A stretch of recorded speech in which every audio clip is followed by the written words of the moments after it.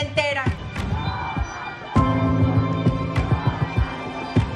Hace unos días, un grupo de candidatos hombres llevaron a cabo un acto político y en ese acto político hicieron una pancarta que decía, ella no tiene valor.